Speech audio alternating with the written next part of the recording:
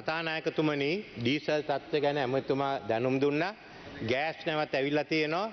ඒ දේශගුණ හේතුව නිසා ගෑස් නැවට සාමාන්‍යයෙන් ටියු- ලයින් එකෙන් කරන්ට බැරි වෙනවා. දැන් ඒක වරායට ගෙනල්ලා අපිට ලොරි වලින් තමයි යවන්ට තියෙන්නේ. ඒ නිසා ඒ ඒ නිසා මං හිතන්නේ මෙතන යම්කිසි කාලයක් ප්‍රමාදයක් වෙනවා. හොඳ අ, දේශගුණය ප්‍රශ්නයක් නොතිබුණා නම් සා- සම්ප්‍රදායක විදියට අරගන්ට තිබුණා තින් දැක් ලොඩි හොයාගෙන ලොඩියවන එක ප්‍රශ්නයක් බවට පත් වෙලා තියෙන්නේ. අපිට එක ප්‍රශ්නයයි තියෙන්නේ පෙ- අ, පෙට්‍රල් ගැන ඒව විසඳන්නයි මෙතෙන්ට ආවේ. ඒ පෙට්‍රල් ගැන දැන් කතා කරගෙන යනවා පෙට්‍රල් නැවකුත් අපිට ගන්ට පුළුවන්ද කියලා. දැනට ලෝක බැංකුවෙන් අපිට ඊයේ ඩොලර් මිලියන එකසිය හැටක් හම්බුණ. ඒ එකසිය හැට තෙල්වලට යොදවන්න බෑ අපි අහනවා පුළුවන්නම් අපිට අවස්ථාව දෙන්න තෙල්වලට යොදවන්න කියලා. අ, විශේෂයෙන්ම අපිට ලෝ ආසියානු සංවර්ධන බැංකුවෙන් ගෙන් ඒ වගේ මුදලක් දෙන්ට තියෙනවා. ඒත් අපිට මිලියන තිහක් ගිය මාස ගෙවන්ට බැරිවුණේ මිලියන් තුනක් ගෙවන්ට බැරිවුණේ නිසා හිර වෙලා තියෙනවට මුදල් හොයාගෙනන්නේ මේ ප්‍රශ්න විසඳන්න තමයි මෙතැන්ට ඇවිල්ලා තියෙන ඒකයි දෙපැත්තෙම සහයෝග ඉල්ලන්නේ. මේකෙදී අ, ආණ්ඩු පක්ෂය විපක්ෂය කියලා දෙයක් නෑ අපි මෙතැන්ට ඇවිල්ලා තියෙන්නේ මිනිස්සුන්ට වැඩ කටයුතු කරන්න.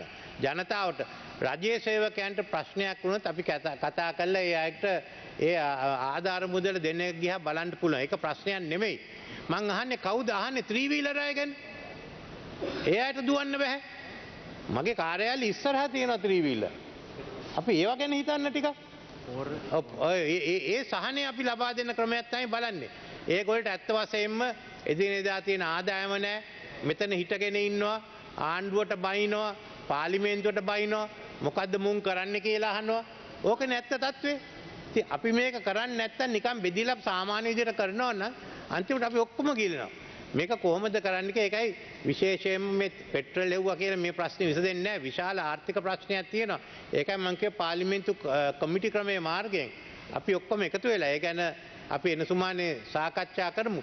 පෝර ගැනත් දැන්ට අනුයුක්ත කළ තියෙන පෝර ඔක්කොම ගෙනත් දෙනවා. ඒත් මං හිතන්නේ සම්පූර්ණයෙන්ම රට උවමනා පෝර දැ- දැන්ට තියෙනවා කියලා. ඉතින් අපිට තියෙන්නේ මහකන්නේට සම්පූර්ණයෙන් පෝර ලබා ගන්න.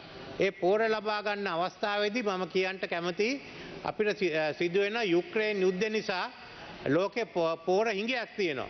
ඒකට මූුණ දීලා මිල වැඩි කල්ලා ක්‍රියා කරන්න. අද මං ඊයේ අදයි කතා කරලා තියෙනවා.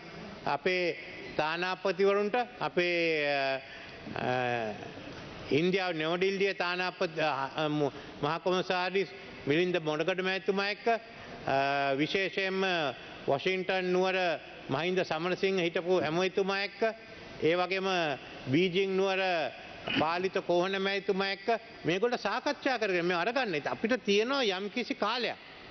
ඒ කාලෙ තමයි අපිට අමාරුම කාලෙ වෙන්නේ. ඉති එතැන්ට අපිට මූුණ දීලා කොහොමද යන්න කියලා මේ සභාවක් හැටියට. කෞද වනේ වගේනේ ඔක්කොම හොයල බලන ඒක කමන්නේ ඒත් වග මේකට වග කියන්න මිනිස්සු හෙව්ව කියලා ඒ වාර්තා අපිට කන්න බැහැ ඉති අප එකක් තියෙන මේවට කටුතු කරන්න ඉතුරු ටික හොයාගන්න. මහිතන්න පාලිමෙන්තු එකට එකතු වෙලා මේ ගමන යන්ට තියෙන